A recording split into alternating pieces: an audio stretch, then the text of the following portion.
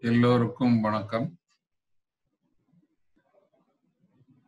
இன்று நாம் ஒரு அருமையான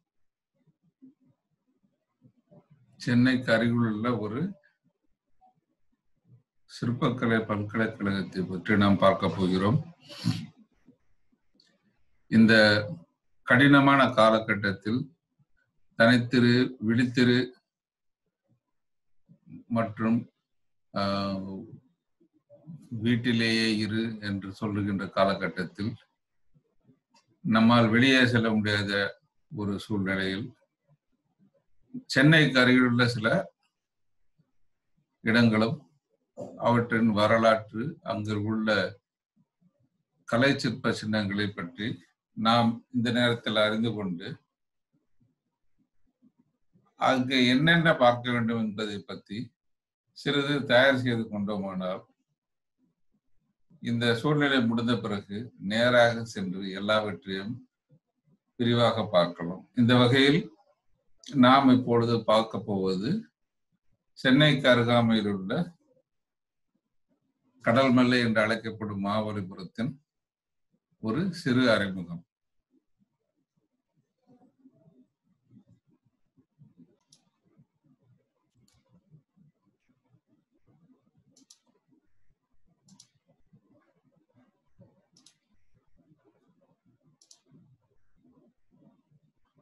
நாம் இப்பொழுது பார்க்க இருப்பது சென்னையிலிருந்து அறுபது கிலோமீட்டர் தொலைவில் உள்ள மகாபலிபுரம். இங்குதான் பல்லவர் காலத்தில் மிக அருமையான பல சிற்பங்களும் கல்கலைக்கழகங்களும் நல்ல பல ஆராய்ச்சிகளும் சிற்பக்கலையில் என்னென்ன செய்ய வேண்டுமோ எல்லாம் செய்து முடித்திருக்கிறார்கள். இதை பற்றி பேச ஆரம்பித்தால் பேசிக்கொண்டே இருக்கலாம். எனவே இது ஒரு அறிமுகம் மட்டுமே. இது முடிந்தவுடன் நேரில் பார்த்தால் இதை பற்றி நம்ம நிறைய கண்டு கொள்ளலாம் எனது பெயர் சிவசங்கர் பாபு. நீங்கள் என்னை பாபு என்றே அழைக்கலாம். நாம் இந்த சம்பந்தப்பட்ட மல்லையின் விவரங்களை பார்க்க போனால் இது நார்மலாக ஒரு நாள் அல்லது ஒன்றரை நாள் பொறுமையா உட்கார்ந்து பார்க்க வேண்டிய ஒரு விஷயம். அதை ஒரு பதினைந்து நிமிட வீடியோ தொகுப்புகளாக கொடுப்பதில் ஒரு கடினமான விஷயம். எனவே இதை ஐந்து பகுதிகளாக பிரித்து ஐந்து தொகுதிகளாக கொடுக்கிறோம். இதில் முதல் தொகுதி பல்லவ மல்லை வரலாறு. அது எப்படி உருவானது? அங்கிருந்த கலை பொக்கிஷங்களை எந்த அரசர்கள் ஆதரித்து கட்ட உதவினார்கள்? அங்கு உள்ள ஸ்தபதிகள் யாவர்? அதை பற்றி அதை பற்றியும். அங்கு உள்ள கலை பொக்கிஷங்களை பற்றி பொதுவாக பார்ப்போம். அடுத்த தொகுதியில் குடவரைகள். இவை முற்கால கல்லும் மண்ணா கட்டிய கட்டிடங்களின் அழியாத கடல் வடிவம். இவை இருப்பதனால்தான் நாம் இப்பொழுது முற்காலத்தில் எந்த மாதிரி எல்லாம் கட்டிடங்கள் கோயில்கள் கட்டியிருந்தார்கள் என்பது அறிந்து கொள்கிறோம். அதற்கு பின் மூன்றாவது தொகுதியில் ஒரு கல் தளிகள். நமக்கு கல்லும் பாறையும் மொட்டையுமா தெரிகின்ற பல கற்பாறைகளை பல்லவர்கள் கோயில்களாகவும் யானை சிங்கம் புலி என்று உயிரோட்டமுடைய பல அழியாத கலை கோயில்களை செய்திருக்கிறார்கள். அவற்றை பற்றி ஒரு தொகுதி. பின்னர் கட்டுமான கல்தளிகள் கல்லை தேடி அல்லது குடவரையை குடைவதை விட கற்களை அழகாக செதுக்கி பாகங்களை சேர்த்து மிக நேர்த்தியாக நமக்கு வேண்டிய இடத்தில் வேண்டிய விதத்தில் கட்டிக்கொள்ளும் திறமையை கண்டுபிடித்து வல்லவர்கள் இதைத்தான் முன்மாதிரியான ஒரு கோயிலாக கட்டியிருக்கிறார்கள். தமிழகத்தில் பிற்காலத்தில் இருக்கின்ற முக்கால் கோயில்கள் எல்லாமே இவற்றை முன்மாதிரியாக செய்யப்பட்டது.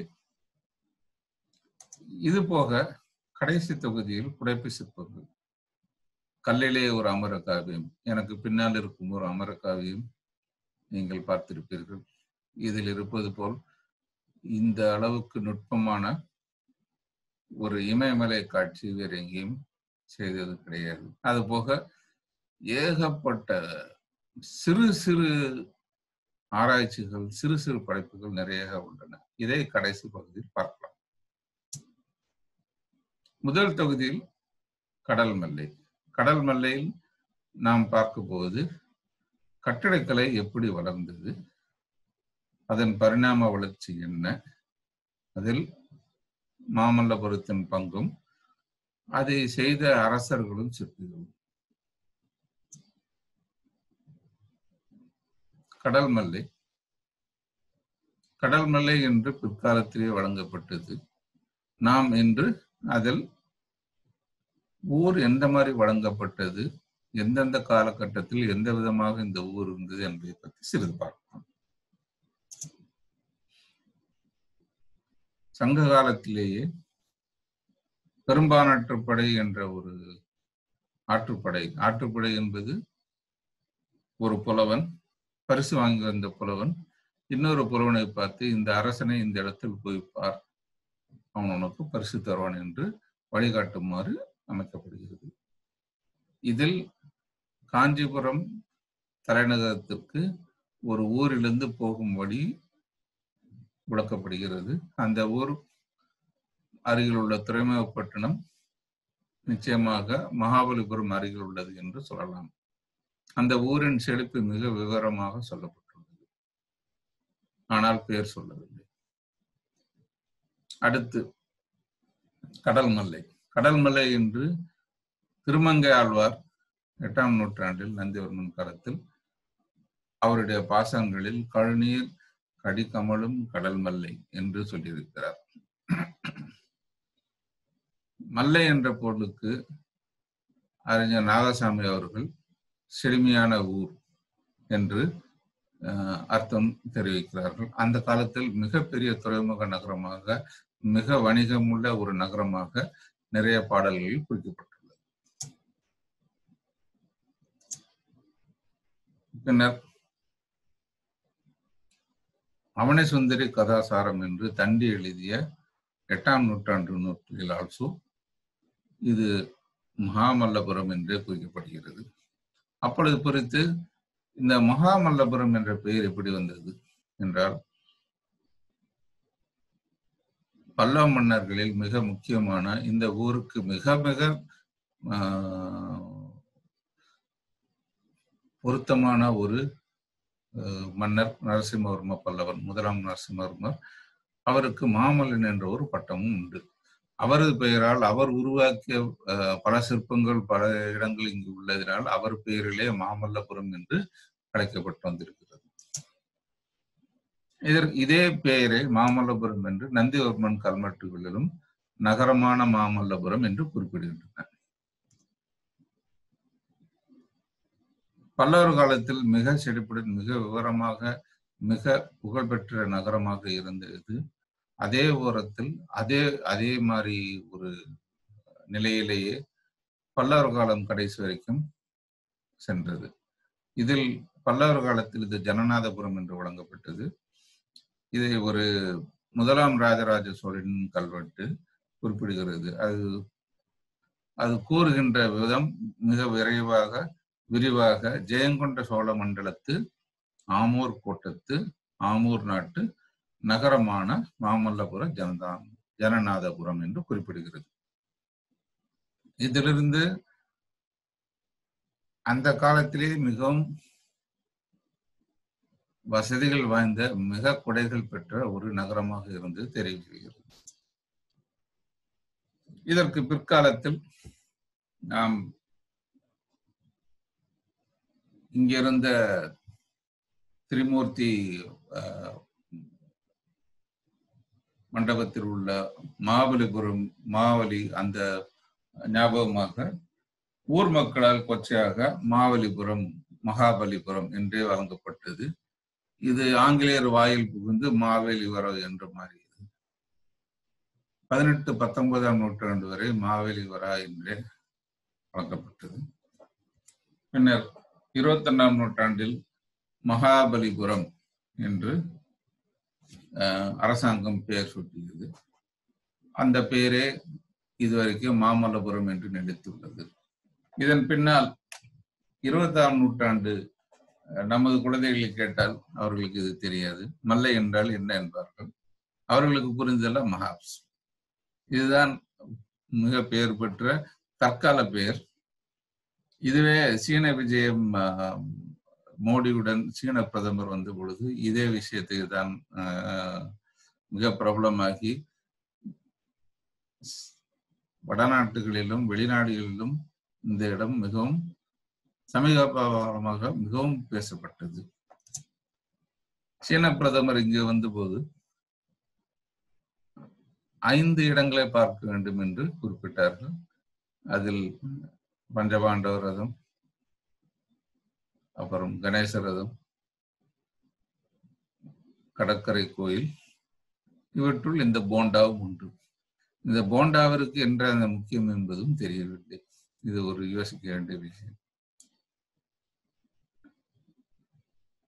நாம் இதுவரை கடல் மல்லை பெயர் காரணத்தை பார்த்தோம் இப்பொழுது அங்கு உள்ள மன்னர்கள் எந்தெந்த மன்னர்கள் இவற்றிற்கு ஆதரவு தந்தார்கள் என்பதையும் பார்க்கலாம். மல்லையின் முக்கியமாக ஆண்ட வெகு காலமாக ஆண்ட மன்னர்கள் பல்லவர்களே. பல்லவர்கள் மூன்றாம் நூற்றாண்டிலிருந்து கிட்டத்தட்ட பத்தாம் நூற்றாண்டு வரை வேறு காலகட்டங்களில் நாள் நோண்டியிருக்கிறார்கள் அவர்களை சங்க முற்கால பல்லவர்கள் நடுக்கால பல்லவர்கள் பிற்கால பல்லவர்கள் என்று பிரிப்பார்கள். ஆனால் நமக்கு மல்லையில் வேண்டிய முக்கியமான மன்னர்கள் பிற்கால பல்லவ மன்னர்களே அவர்களே இங்கே மிகப்பெரிய சாதனைகளை செய்துள்ளார் இந்த மன்னர்களில் முதல் மன்னர் சிம்ம விஷ்ணு. இவர் மிக முக்கியமான விஷயம் இவர் செய்து களப்பிரர்கள் ஆட்சி தமிழகத்தில் வந்து கொடுத்து கட்டினார். இவருக்கு பின்னர் வந்த மகேந்திரவர்மன் ஒரு விசித்திர சித்தர். குப்தர் காலத்தில் வடநாட்டில் இருந்த குகை கோயில்களை இங்கு அமராவதியில் மாற்றி அமராவதியிலிருந்து இங்கு தமிழ்நாட்டில் முதலில் செய்த குடவரைகள் இவர் காலத்திலேயே மகேந்திரவர்மன் காலத்திலேயும் பாண்டியர்கள் இதே சமகால பாண்டியர்கள் காலத்திலுமே குடவரைகள் நிறைய ஆரம்பித்தன தொண்டை மண்டலத்தில் நிறைய குடவரைகளை இந்த விசித்திர சித்தர் அருமையாக தீட்டுவிட்டார். இவரை பின்பற்ற இவருடைய மகன் நரசிம்மவர்மன் மாமல்லபுரத்தின் மேல் ஒரு தனி காதல். இங்கு உள்ள பல குன்றுகள் பல இடங்களில் அருமையாக மல்லையில் உள்ள பஞ்சபாண்டவ ரதங்கள் இங்க இருக்கின்ற முக்கால் குடவர்கள் எல்லாம் நரசிம்மவர்மன் காலத்தில் கட்டியவை. அவருக்கு பின்னர் வந்த மகேந்திரவர்மன் மிக குறுகிய ஆட்சி. குறிப்பிடத்தக்க விஷயங்கள் ஒன்றுமில்லை. நரசிம்மவர்மனின் பேரன் பரமேஸ்வரவர்மன் மாமல்லர் கட்டிய முக்காவாசி ரதங்கள் மற்றவற்றை முழுமை செய்து பின்னர் இதுவரை கட்டிய ரதங்களிலேயே மிகவும் முழுமை பெற்ற ரதமான கணேச ரதத்தை கட்டினார். இதற்கு இதுடன் தமிழகத்தின் முதல் கட்டுமான கோயிலாக பூரம் கட்டிலையும் கட்டி இவருக்கு பின் வந்த நரசிம்மவர்மன் அல்லது ராஜசிம்மன் அல்ல அத்தியந்த காமா இவருக்கு ஏகப்பட்ட பெயர்கள் விருதுகள் உண்டு. இவரே கடற்கரை கோயில் பழைய விஷ்ணு கோயிலை சுற்றி இரண்டு அருமையான கடற்கரை கட்டுமான கோயில்களையும் சாடுவன் குப்பத்தில் உள்ள குகை கோயில்களும் அதிர சண்டா எல்லாவற்றையும் கட்டியவர் என்று குறிப்பிடப்படுகிறது. இவருடன் பல்லவர்கள் காலத்தில் இருந்த முக்கியமான மல்லை படைப்புகள் முடிவடைகின்றன. இவர் பிற்காலத்தில் பரமேஸ்வரன் காலத்தில் விஜயாதித்ய சாளுக்கியர் காலத்தில் போரில் அவர் இறந்துவிட பல்லவர்களின் ஒரு சாம்ராஜ்யம் முடிவெடுகிறது. பின்னர் அரசர் வேண்டி அவருடைய ஏழு தலைமுறைக்கு முன்னாக சிம்ம விஷ்ணுவின் தம்பி மக தம்பியின் வழிவந்த இன்னொரு மன்னரை நரசிம்மவர்மரை உணர்ந்து அவர் ஆட்சி செய்ய ஆரம்பித்தார். இந்த நந்திவர்மன் நந்திவர்மன் பல்லவ மல்லா என்று அழைக்கப்படுகின்ற நந்திவர்மன் தமிழ்நாட்டிலேயே மிக அதிக காலம் ஆட்சி செய்த மன்னர்களில் ஒருவர். இவர் காலத்தில் அமைதி மிகவும் நிலம்பியதால் நிறைய போர்கள் சந்திருக்கிறார் அதே சமயத்தில் நிறைய கோயில்களும் கட்டியிருக்கிறார். காஞ்சியில் உள்ள பெருமாள் கோயில் அண்ட் உத்தரமேரூரில் உள்ள பெருமாள் கோயில். இவை இரண்டும் இவரது சாதனைகள். இவை மூன்றடுக்கு அஷ்டாங்க கோயில்கள் மிகவும் அருமையான படைப்புகள். இவருக்கு பின் வந்த தந்திவர்மன் திருவள்ளரையில் உள்ள ஸ்வஸ்தி கிணறு மற்றும் சில படைப்புகள் மிகவும் முக்கியமானவை. இதற்கு பின்னர் நந்திவர்மன் மூன்றாம் அரசன். இவர் காலத்தில் மிகப்பெரிய போர்கள் நடந்தன. ராஷ்டிரகூடர்களை முடியடித்தார் பாண்டியர்களை முறியடித்தார். பல்லவர்கள் சாம்ராஜ்யத்தில் ஒரு பழைய நிலைமையை ஓரளவு உணர்ந்தார். இதற்கு பின்னர் இவருக்கு மகன்கள் இரண்டு பேரும் பிரிந்து வடக்கு தெற்காக ஆட்சி செய்தார்கள். கம்பவர்மனும் நிருது குந்தவர்மனும் இதற்கு பின்னர் கடைசி அரசனான அபராஜிதவர்மன் காலத்தில் கட்டப்பட்ட கடைசி பல்லவ கோயில் திருத்தணிகை கோயில்.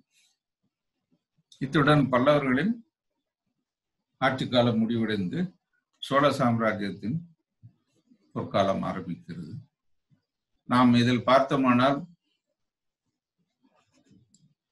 இந்த கடல் மல்லையில் இருக்கின்ற அத்தனை படைப்புகளிலும் சுமார் ஒரு எழுபது ஆண்டுகள் எழுபது ஆண்டுகள் என்றால் அறுநூத்தி ஐம்பதிலிருந்து எழுநூத்தி இருபது வரைக்கும் உண்டான காலகட்டத்திலே முடிக்கப்பட்டன எழுபது ஆண்டுகளில் இவ்வளவு அருமையான சில கலைப்படைப்புகள் என்பது நினைத்து பார்க்க முடியாத வேறு. இப்படி பேரும் புகழும் இருந்த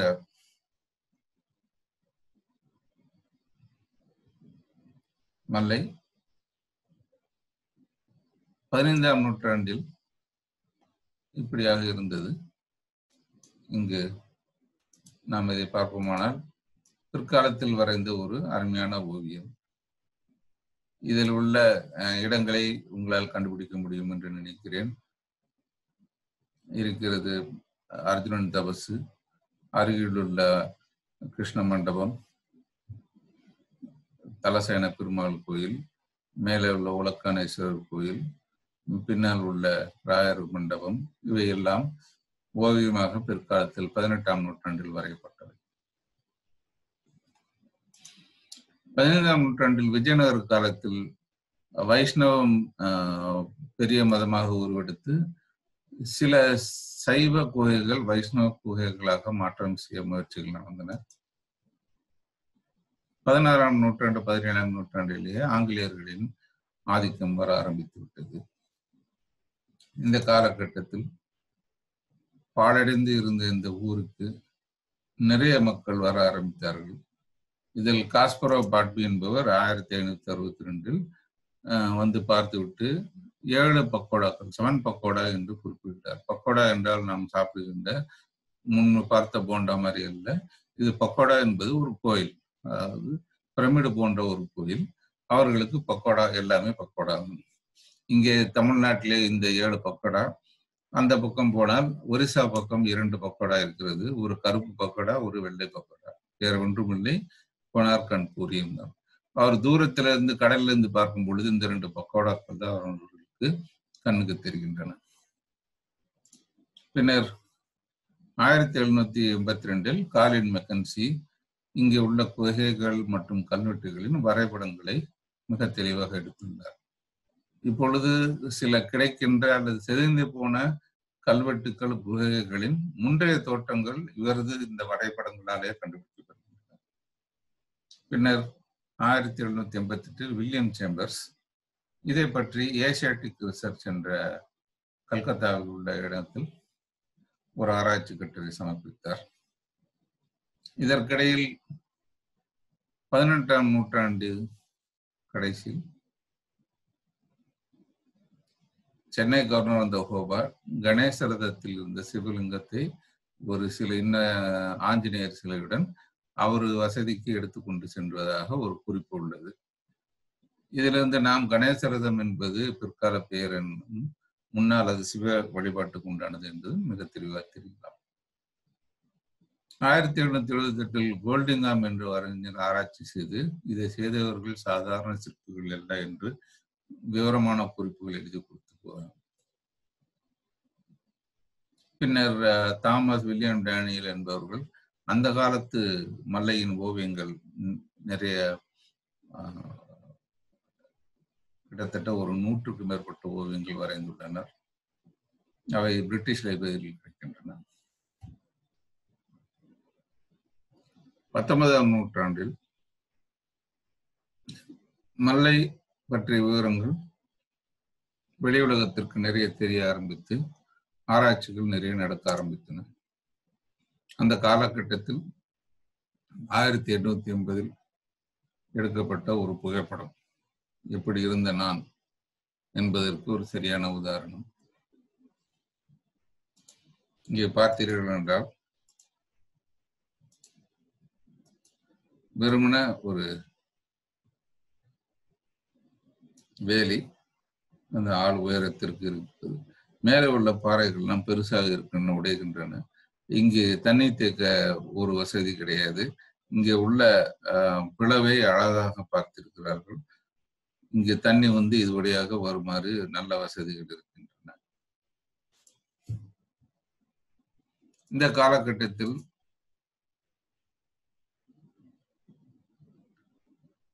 இந்த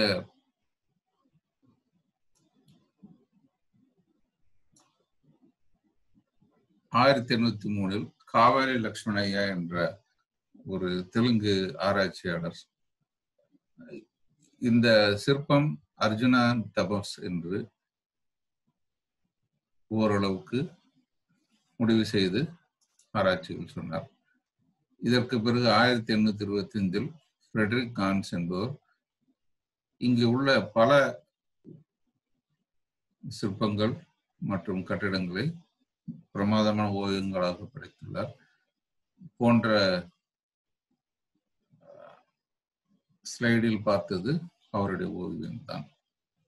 இதற்கு பிறகு முக்கியமான ஒரு நிகழ்ச்சி பெஞ்சமின் பேபிங்டன். இவர்தான் மல்லையின் விவரங்கள் வெளிவருவதற்கு முக்கியமான ஆள். அவர் இங்குள்ள கல்வெட்டுகளை ஆராய்ச்சி செய்து இங்குள்ள விவரங்களை உலகிற்கு எடுத்திருக்கிறார். இதற்கு பிறகு நிக்கோலஸ் என்பவர் நிறைய நிலப்படங்கள் இந்த போட்டோக்களை நிக்கோலஸ் எடுத்தவை அண்ட் அது இது போக பெர்கோசான் என்பவர் மிக நிறைய ஆராய்ச்சி புஸ்தகங்களை எழுதினார். ஆயிரத்தி எண்ணூத்தி எண்பத்தி ரெண்டில் ராபர்ட் செவர் என்பவர் சென்னையின் புராதன சின்னங்கள் என்ற ஒரு நூலை எழுதினார். இதுவே இன்னும் ஒரு நல்ல ஒரு குறிப்பு நூலாக உபயோகப்படுகிறது. அடுத்த முக்கியமான நிகழ்ச்சி ஆயிரத்தி எண்ணூத்தி எண்பத்தி ஆறில் சவுத் இந்தியன் இன்ஸ்கிரிப்ஷன்ஸ் என்ற ஒரு முதல் கல்வெட்டு தொகுதி பகுதி ஒன்று வெறும் மகாபலிபுரம் கல்வெட்டுகள் மட்டுமே வெளிவந்தது. இதற்கு முக்கிய காரணம் ஹூல்ஸ் வெங்கையா. அதற்கு பிறகு பிற்காலத்தில் வெங்கையா பல்லவாஸ் என்ற நூலை எழுதினார். ஆயிரத்தி தொள்ளாயிரத்தி ஒன்பதில் அலெக்சாண்டர் பல்லவ ஆர்கிடெக்சர் என்ற ஒரு நூல் எழுதினார். இவைகளில் இந்த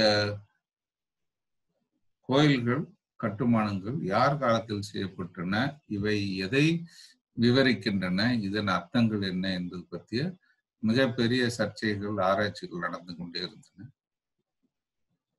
ஆயிரத்தி தொள்ளாயிரத்தி பதினேழு ஜோ துபுரல் என்பவர் கட்டிடக்கலை சிற்பங்கள் மல்லை பற்றிய கட்டிடக்கலைகளையும் விவரமாக எழுதினார். ஆயிரத்தி தொள்ளாயிரத்தி பதினேழு சாக்கோட்டை கிருஷ்ணசாமி என்கார் ஒருவர். மகாபலிபுரம் பற்றிய விவரமான ஒரு புஸ்தகம் எழுதினார். அவர் இங்கு இருக்கின்ற குகைகளின் காரணகர்த்தாக்கள் யார் என்று பத்தி ஆராய்ச்சி குறிப்பிட்டார் ஆயிரத்தி தொள்ளாயிரத்தி இருபத்தி ஏழில் வெங்கோபராம் என்பவர் ஆதிவராக குகையை பற்றி ஒரு நீண்ட ஆராய்ச்சி செய்திருந்தார். அவர் அங்கு உள்ள இரண்டு அரசர்களின் சிலைகள் என்ன என்பதை பற்றி பார்த்திருந்தார். பின்னர் கோபாலன் பல்லவன் சரித்திரம் என்ற விவரமான நூல் வந்தது. மற்றும் ஒரு மைல்கல் ஆயிரத்தி தொள்ளாயிரத்தி நாற்பத்தி ஒன்னில் சென்னை பல்கலைத்தின் முதல் டாக்டர் பட்டம் பெற்ற டாக்டர் மீனாட்சி அவர்கள் குடைப்பு சிற்பங்களில் பல்லவ சரித்திரம் என்ற வகையில் காஞ்சி விஷ்ணு கோயிலில் இருந்த பல்லவ சிற்பங்களை வைத்து பல்லவ சரித்திரத்தை ஓரளவுக்கு ஆராய்ச்சி செய்து வந்தார். அவரே இங்கு இருக்கின்ற அர்ஜுனன் தபசில் இருக்கின்ற நரசிம்ம பல்லவரின் உருவங்கள் என்ற ஒரு குறிப்பையும் சொல்லியிருக்கிறார். ஆயிரத்தி தொள்ளாயிரத்தி அறுபத்தி ரெண்டில் இவற்றிற்கெல்லாம் சிகரம் வைக்குமாறு தமிழ்நாடு தொல்லியல் துறையின் முதல் டைரக்டராக இருந்த டாக்டர் நாகசாமி அவர்கள் மல்லையில் உள்ள பெரும்பாலான படைப்புகள் அத்தியந்த காமா என்ற பட்டப்பெயருடன் அழைக்கப்படுகின்ற ராஜசிம்மனின் காலத்தில் எல்லாம் ஒன்றாக கட்டப்பட்டவை என்ற ஒரு ஆராய்ச்சி முன்வைத்துள்ளார். அதற்கு இதுவரை வேறு மறுப்புகள் இல்லை. இந்த நிலையில் கடல் மல்லையின் விவரங்கள் மற்றும் இது சம்பந்தப்பட்ட ஆராய்ச்சிகள் தொடர்கின்றன. இதற்கு சிகரமைக்கா போல் தமிழகத்தின் முதல் உலக பாரம்பரிய சின்னமாக ஆயிரத்தி தொள்ளாயிரத்தி எண்பத்தி நாலில் மல்லை பாரம்பரிய சின்னம் என்ற ஒரு அங்கீகாரத்தை யுனெஸ்கோவுடன் பெற்றது. இப்போது உள்ள மல்லையின் காட்சி இரண்டு நாட்களுக்கு முன்பாக மழை பெய்யும் போது எடுத்த படம்.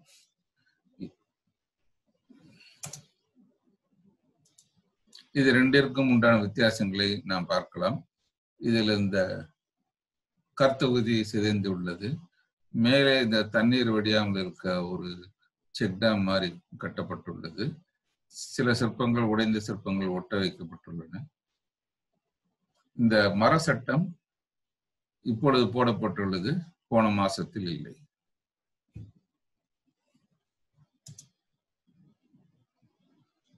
நாம் மல்லை அன்று எப்படி இருந்தது? இப்பொழுது எப்படி இருக்கு? என்றும் ஒரு ஒரு சிறிய பார்வை. ஆயிரத்தி தொள்ளாயிரத்தி எண்பதில் எடுக்கப்பட்ட படம். தர்மராஜா ரதம் எவ்வளவு புதைந்திருக்கிறது என்று பார்க்கலாம். பீம ரதத்திற்கு நடுவில் பனைமரம் சகதேவன் ரதம் யானைக்கு நடுவில் மேடு குப்பை மேடு. இப்படி இருந்த ஒரு இடத்தை பிற்காலத்தில் ஆராய்ச்சி செய்து தொழில் துறையினர் சரி செய்து இப்பொழுது சமீப காலத்தில் மோடியும் சீன பிரதமர் வந்த பொழுது இப்படி மாற்றி உள்ளனர்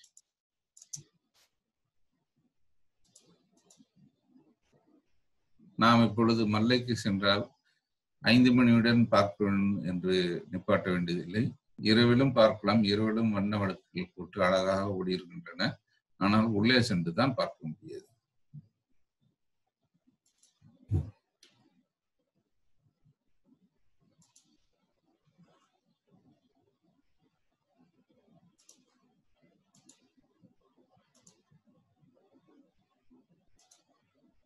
நமது அடுத்த பகுதியில் மல்லை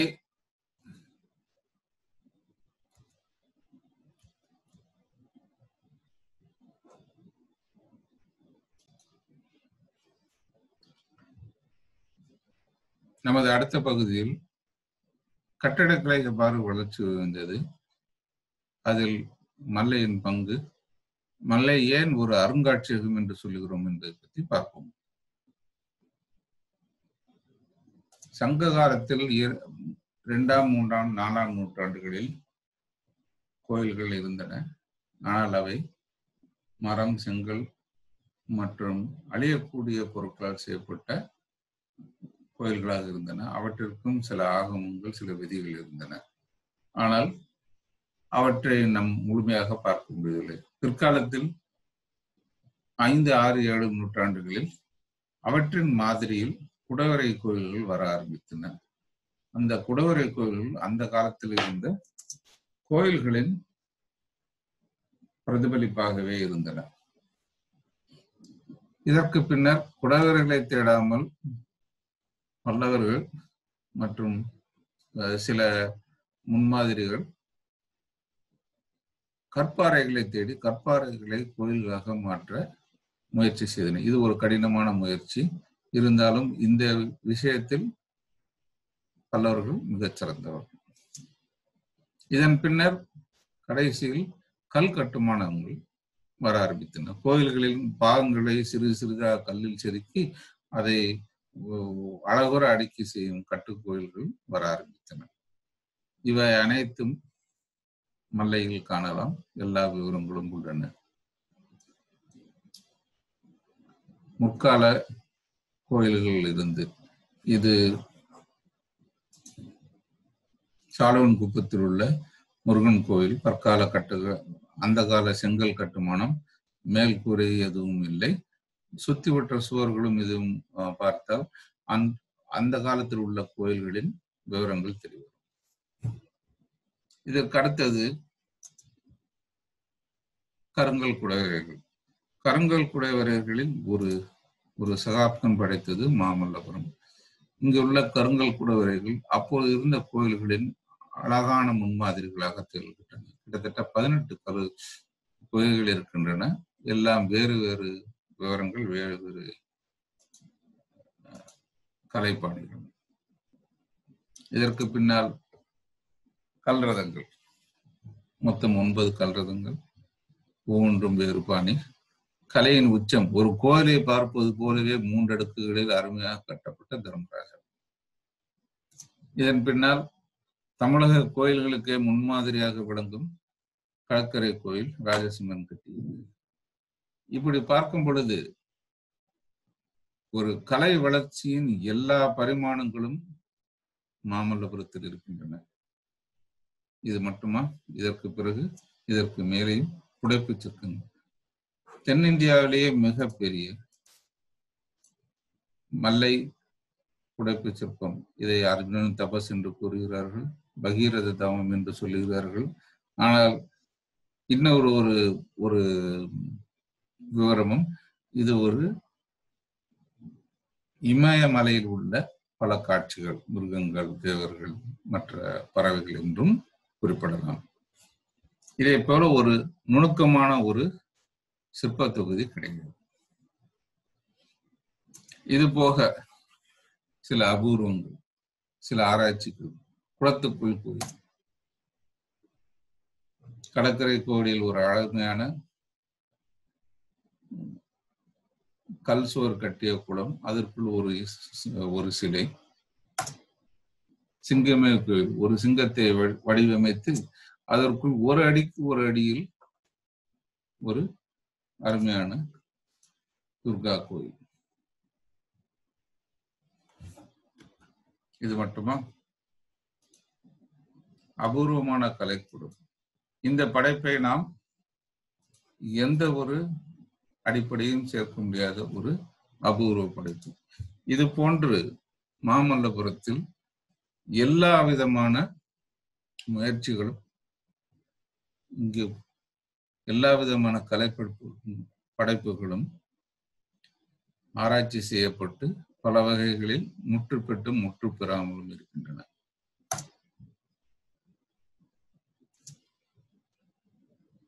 இங்கே உள்ள கலை சின்னங்கள் எப்படி இருக்கின்றது மகாபலிபுரத்தில் பார்ப்போம். மகாபலிபுரத்தில் கடற்கரையிலிருந்து ஒரு இரண்டு கிலோமீட்டருக்கு தூரத்திற்குள் எல்லாம் அடங்கி விடுகின்றன. இவற்றில் குடவரைகள் பதினாறு குடவரைகள் எல்லாம் அநேகமாக இந்த இடத்துக்குள் அடங்கிவிடுகின்றன இங்கு ஒரு வரிசை இங்கு ஒரு வரிசை. இவற்றிற்குள் முக்கால் குடவரைகள் அடங்கி வருகின்றன. அதற்கடுத்து ஒற்றைக்கல் ரதங்கள். ஒற்றைக்கல் ரதங்கள் ஆரம்பகால ஆராய்ச்சி இங்கு முப்பத்தொன்னு முப்பத்தி ரெண்டில் இருக்கின்றன. பிடாரி மலையன்குட்டை பிற்காலத்தில் ஐந்து ரதங்கள் இங்கு இருக்கின்றன. ஒரு ரதம் கணேச ரதம் முற்றுப்பெற்ற முழுமையான ரதம் நடுவில் இருக்கிறது. இது போக கட்டுமான கோயில்கள் மூன்று முழுமையான கட்டுமான கோயில்கள் பிறகு கட்டு கட்டுமான கலையை உபயோகித்த சில அஹ், கோயில்கள் உள்ளன. இவற்றில் முக்கியமானது கடற்கரை கோயில் பின்னர் மலை உச்சியில் உள்ள கோயில் அது போக இந்த இடத்தில் இருக்கின்ற முகுந்த நாயனார் கோயில். இது போக புடைப்பு சிற்பங்கள். அர்ஜுனன் தபஸ் அதற்கு முன்மாதிரியாக கட்டப்பட்ட ஒரு சிற்பம் மற்றும் சில பல சிற்பங்கள் உள்ளன. இது போக மற்ற சிற்பங்களும் நிறைய அங்கங்கு சிதறி உள்ளன. இவை எல்லாவற்றையும் பார்ப்பதற்கு இரண்டு நாட்கள் பொறுமையாக ஆகும் நாம் குடைவரைகளை பற்றி ஒரு ஒரு எளிமையாக பார்ப்போம். குடைவரைகள் மொத்தம் பதினாறு இருக்கின்றன. இவற்றில் மிக எளிமையான தர்மராஜா மண்டபத்திலிருந்து இங்கு பார்த்தீர்களானால் சாதாரண அமைப்பு அலங்காரம் இல்லாத தூண்கள் மிக அலங்காரம் இல்லாத சுவற்றில் ஒன்றுமில்லை வெறும் துவாரபாலகர் மட்டும். இது ஒரு எளிமையான கட்டமைப்பு. இதிலிருந்து கிட்டத்தட்ட ஒரு முழு கோயில் வரையிலான பிரம்மாண்டமான வராக மண்டபம். மேலே கல் இல்லை இல்லை என்றால் விமானமும் முடித்திருப்பார்கள் அதற்கு உண்டான முதல் தள அது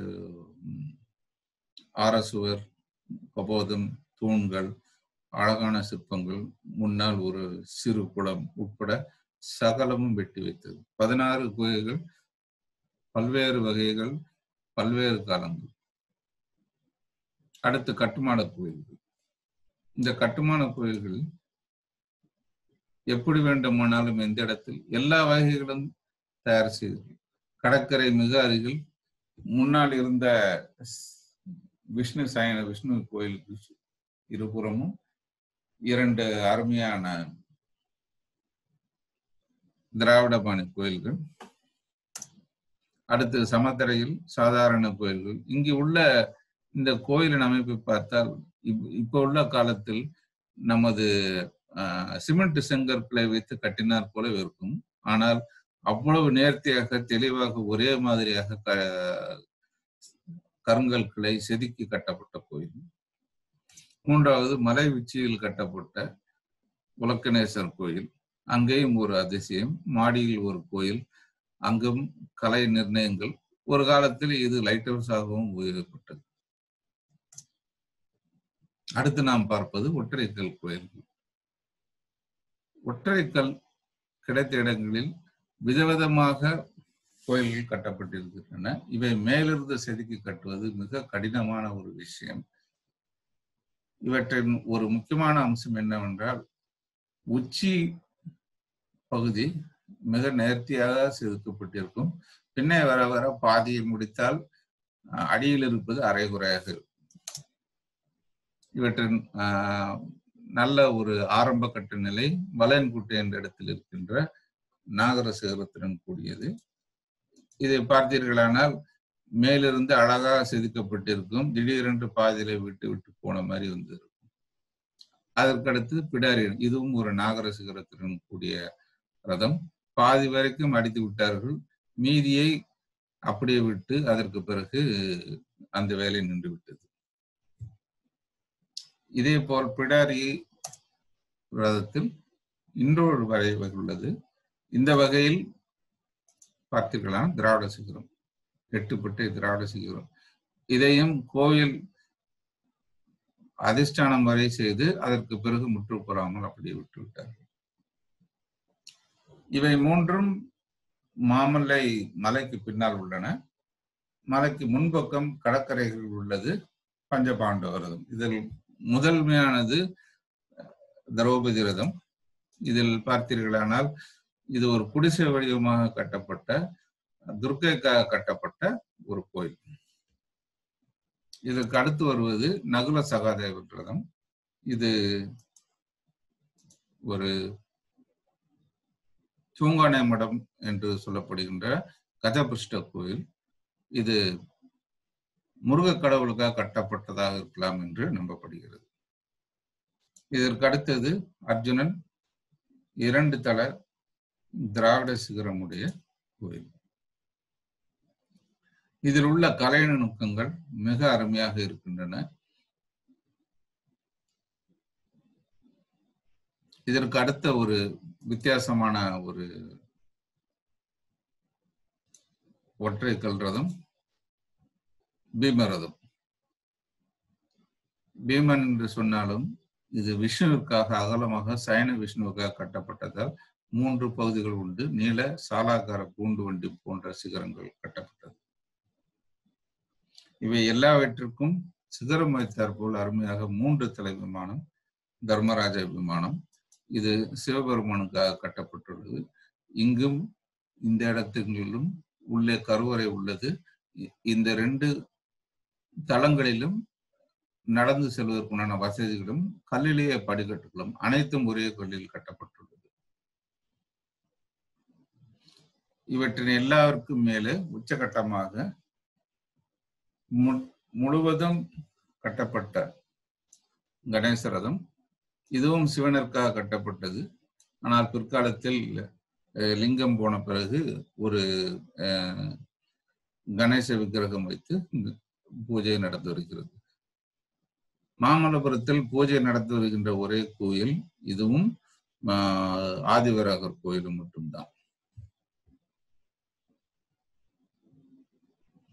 இப்படி பார்த்தீர்களானால் ஒற்றை கல் ரதங்களிலே இந்த அளவுக்கு ஒரு வேறுபாடுகள் கலை நுணுக்கங்கள் வேறு எங்கும் இல்லை அஜந்தா தவிர. இதற்கு அடுத்து நாம் பார்க்க இருப்பது புடைப்பு சிற்பங்கள்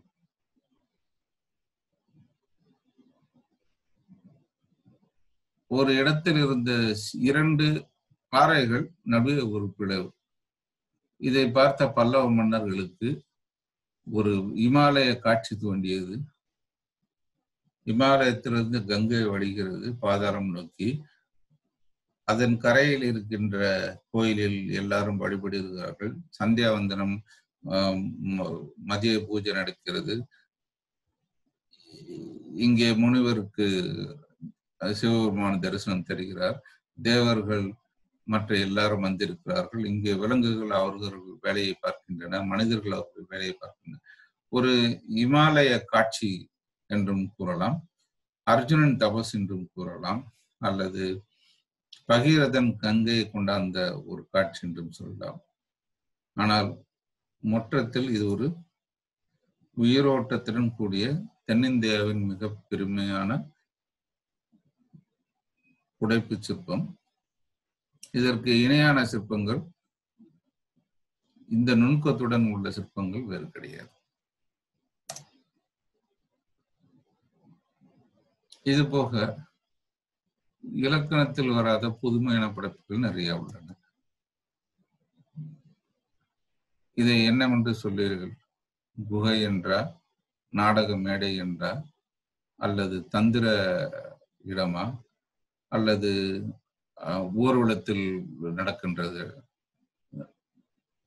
ஒரு கேளிக்கை இடமா? அல்லது அரசர் வந்தால் பார்க்கின்ற இடமா? எதுவென்றும் பார்க்கலாம் எப்படி வேண்டும் வைத்துக் கொள்ளலாம். இது ஒரு புதுமையான படம். சாலவன் குப்பத்தில் இது போக மிக பெரிய ஆராய்ச்சிகள் நிறைய செய்திருக்கிறார்கள். ஒரு கோயில் செயல்வதற்கு முன்னாடி ஒரு அது பற்றிய ஒரு முன்மாதிரி நிறைய செய்து இப்படி பண்ணலாமா அப்படி பண்ணலாமா என்று செய்து நிறைய மாதிரிகள் உள்ளன. நிறைய பாதியிலும் இருக்கின்றன. கடற்கரை கோயில்களுக்கு கட்டப்பட்டுள்ள ஒரு வராகமும் அருகிலுள்ள வேசர ஒற்றைக்கல் கோயிலும் சிங்கத்துக்குள் துர்க்கை. புலிக்குகை நாம் பார்த்த புலிக்குகையின் ஒரு முன்மாதிரி கடற்கரையில் முதலில் பன்று பார்த்து இதே மாதிரி பெரியதாக பிற்காலத்தில் பண்ணியிருக்கிறார்கள் கடற்கரை கோயில் மற்ற பக்கம் நான் பார்த்த முதலில் காண்ந்த சிறு மாதிரியை போலவே ஒரு பெரிய குகையில் மிக பிரமாண்டமாக மகிஷாசிரமத்தின் கோயில். இது மாதிரியான சிறு சிறு சிற்பங்கள் மாமல்லபுரத்தை சுத்தி நிறைய உள்ளன. அவற்றை ஆராய்வதற்கு இரண்டு நாட்கள். இதுவரையில் நாம் பார்த்தது மாமல்லபுரம் பற்றிய ஒரு சிறு அறிமுகம். இந்த அறிமுகத்துடன் பின்வரும் மூன்று தொகுதிகளில் நாம் விரிவாக குகைகள் ஒற்றைக்கல் தளிகள் மற்றும் கட்டுமான கட்டடங்கள் புடைப்பு சிற்பங்கள் பற்றி விரிவாக பார்க்கிறோம். இந்த வீடியோ சம்பந்தப்பட்ட சந்தேகங்கள் யாராக இருந்தாலும் என்னை மேற்கொண்ட மேற்கண்ட விவரங்களில் ஃபோன் நம்பர் ஆர் இமெயில் அவற்றில் தொடர்பு கொள்ளலாம்.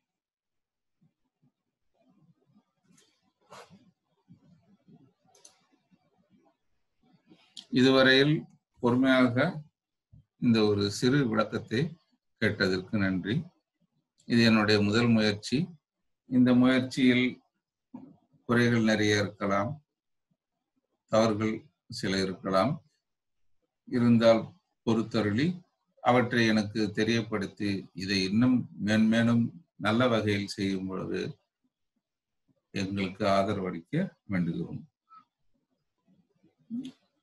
அடுத்த வீடியோவில் குடவரை கோயிலை பற்றி பார்ப்போம். அதுவரையில் உங்களிடமிருந்து விடைபெறுவது சிவசங்கர் பாபு. வணக்கம்.